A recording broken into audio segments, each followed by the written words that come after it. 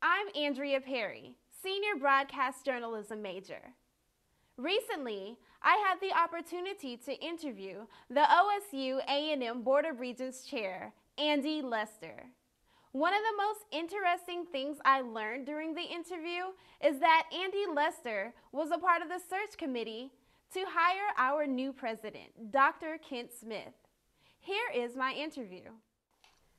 Hello, Andy Lester. How are you? Uh, I'm doing well. It's great to be here today. Very good. How are you?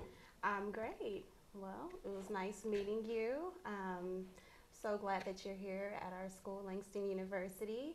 Uh, what do you think about our new president, Dr. Kent Smith, and his, you know, new appointment and his goals for our university? Well, I'm thrilled to have Dr. Smith here. Uh, I was the chairman of the uh, of the presidential search committee, and we spent an, a lot of time uh, looking through lots of different candidates. we had I'll tell you, our search was, was really, uh, uh, I think, an impressive search. We, we hired a national search firm. Mm-hmm. We ended up with, I believe, around 60 applications, yes. and most of these applications uh, were excellent, uh, and almost any of whom would have made, I think, a great president. We narrowed that down to probably uh, about, oh, 15 or so, and then actually winnowed that field down to, I think we ended up interviewing uh, seven different candidates. Mm. Um, and uh, the Presidential Search Committee recommended, I believe it was three, to the uh, Board of Regents for, uh, for further uh, review. And then the board interviewed three, and we ended up with Dr. Smith. Uh, we're thrilled with Dr. Smith. I'll tell you, his background was so impressive. this man has accomplished so much in such a relatively short time, and and uh, uh, we're thrilled to have him. Wow, you got me thrilled to have him as a president. I'm well, glad, good. you know, since out of 60 applicants, you know, he came on top. So that's well, and these great. were, I could say, from all over the country. Um, we had a few from here in Oklahoma, but uh, had quite a few from uh, the vast majority were from mm-hmm. from out of state, uh, and all with really impressive backgrounds. That's what's up. That's so good. But we got the best. Well, what qualities and criteria uh, do you look for um, the Board of Regents in selecting a new university president? Well, first off, it depends on on the university. We want somebody who is going to match the the, the character of that university, that institution. Our our board, as you know, governs five different institutions, um, and uh, looking for a, a, president for Langston University is going to be a little bit different than looking for a president for, say, Panhandle State or Oklahoma State University. Uh, all of them, in, in, each of the cases, we're going to want uh, somebody with not simply excellent credentials, that's a mm-hmm. given, but uh, somebody who's got a proven uh, uh, track record of leadership. but we want somebody who's going to be the right person for that institution who's going to fit the ethos of that institution and be able to lead that institution. Um, and uh, in this particular case, uh, Dr. Smith just rose to the top uh, so quickly. Now, and that's not to say that we didn't have some great other candidates. Right. We did. Um, and several of them, I think, would have made fine presidents here.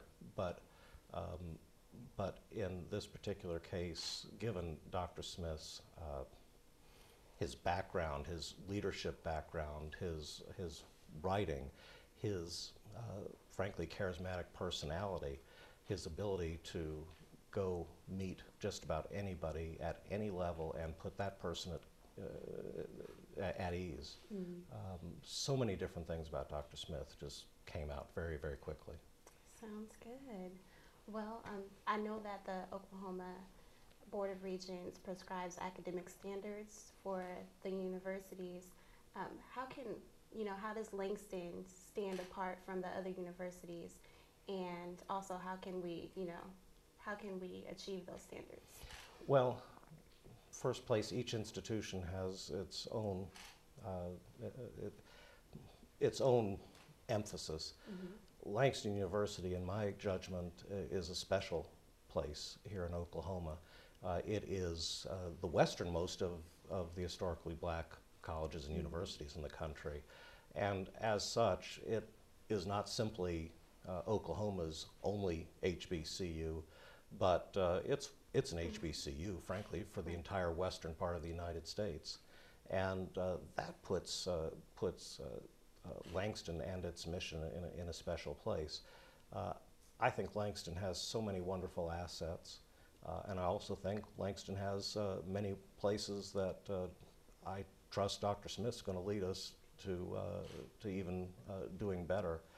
Um, uh, and, and some of that he's already implemented in the short time that he's been here, and, and uh, I, I suspect we're going to see a lot of uh, changes that I think are going to be great for uh, Langston University and its students. Right. Um, well, according to the Office of Retention here at LU, our retention rate is about at 46%. Uh, is there any advice uh, for the university that you can give to us for us to raise that percentage? Well, uh, here again, I, uh, retention rate is one of numerous factors that I think, uh, whether it's our Board of Regents or uh, other leaders of higher education in Oklahoma and the country are going to look at. Retention's important. Uh, when we bring a student here to Langston uh, as a freshman, we want that student to be a sophomore and a junior and senior and ultimately to graduate. We're making an investment in that student just as the student's making an investment uh, in himself or herself and in the institution. Uh, and of course, uh, you know, we'd like it to be 100%. We'd like to have all of our, our uh, incoming freshmen leave in four, five, or six years with a degree. Uh, that's the goal. Uh, uh, probably achieving 100% is, is uh, simply not going to happen. Uh, there are all sorts of reasons that, uh, that students might have to leave or leave early or might have to leave for a while and then come back later. Um, that is something that I think we'd all like to improve upon.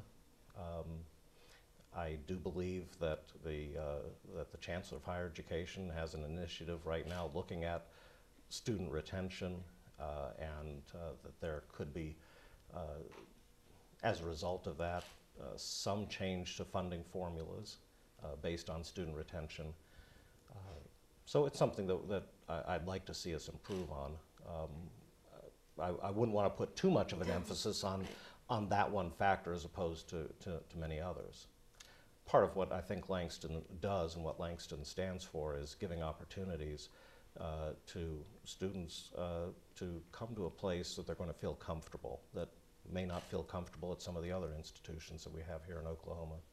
And, um, and uh, student retention sometimes uh, may be lower here than it is at other institutions. Of course, it's not the lowest here by any means uh, either, It's not the lowest in the state of Oklahoma. uh, not to my understanding. Okay, well, that's great. And I, That's my understanding is we're, we're uh, pretty typical for uh, HBCUs around the country Mhm. here, a little bit above average.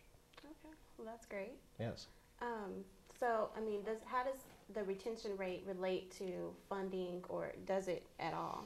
Well, the, uh, part of this initiative, as I understand it from uh, the Chancellor of Higher Education, there would be some relationship between uh, uh, retention and funding. Uh, I don't know what that will end up being. I'm, I'm not sure there is a, a, a single proposal yet for how that would be.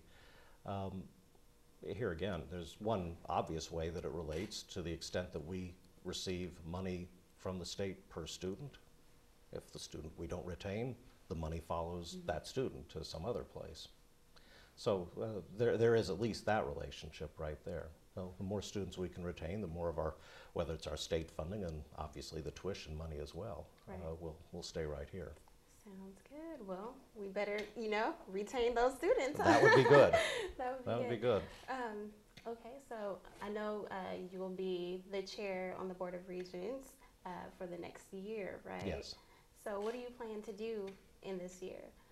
Well, uh, our, let me- let me tell you a little bit about our Board of Okay. Regents. I'm, I'm really pretty proud of our board. We have a, a nine-member board. Uh, one of the things that I didn't really know about our board before I became a member of it uh, is how hard each of the members of our board works, and each one does. Uh, each person on the board cares about the five institutions that we govern, and uh, generally takes uh, uh, some area of interest to that member uh, as kind of a, a, special emphasis. And here's what I mean by that. We have a couple of members of our board, uh, one of whom is in the public construction business and another uh, who is in the real estate development business. And these two individuals uh, spend a lot of time, frankly, saving our institutions a lot of money when we're uh, dealing with construction projects. They know a lot about that. Um, I'm a lawyer. We have one other member of the board who's a lawyer, and the two of us might emphasize a little bit more of the legal aspects. And of course, we do have our board counsel as well. But uh, we'll take a look at some things that maybe some of the other board members don't don't look uh, don't look at so closely. Um, and so each one contributes a lot and, uh, and and works pretty hard. And when I say pretty hard, this is a volunteer position. Nobody's being paid for, for, for this. And each board member probably puts in on average between 15 and 20 hours a week or more uh, for, for our institutions. Right. And, and so they really do care deeply. Uh, I tell you all that. Your question was about uh, goals as, as board chair. Uh, truthfully, being the board chair is, is largely symbolic. Um, I'm one of nine members. I have one vote, uh, so I, I, I can only uh, you know, I need to get at least four other, other members to, to agree with me to, to, to do something. Uh, but uh, we're, we're, we're a collegial board. We get along with each other very well. We do have some things we might disagree on, but, uh, but ultimately, after we take the vote, then we go implement the policy. Okay, so after the year's up, uh, will you just go back to your former position, just a board member, or? Yes. Yeah. Yes, I'll still be a board member. I was appointed in, uh, uh, to fill an unexpired term in 2007 and then reappointed to a full term uh, in 2010. So uh, it's a, an eight-year term. So I'm on this board until April 4 of 2018, unless, unless something strange happens. Sounds good. Well, it was very great, you know, talking to you and finding out about the Board of Regents and, you know, how you see the future of our institution and nice meeting you. And it's very nice to so meet you. Thank you. See more interviews like this one and other student produced productions on the Langston University website, at the Student Success Center, and on Channel 97.